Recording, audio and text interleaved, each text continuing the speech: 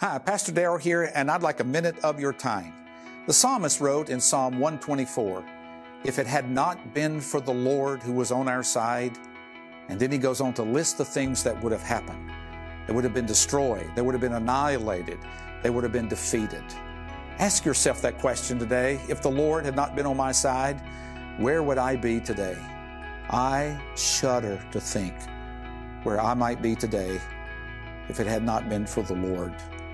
But yet it's so encouraging to know that no matter what I deal with the rest of this day, no matter what I face tomorrow and in all of my tomorrows, with the Lord, I'm on His side. We are in this together. And God is going to see us through. That is a promise from His Word and from His heart to you and me today. God is with us.